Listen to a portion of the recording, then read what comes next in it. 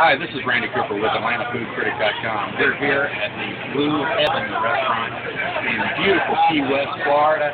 This is rated number one by Urban Spoon, and we just had a fantastic lunch. And um, read about it on the blog, Atlanta-food-critic.com, and follow us on Twitter, ATL Food Critic. Good appetit.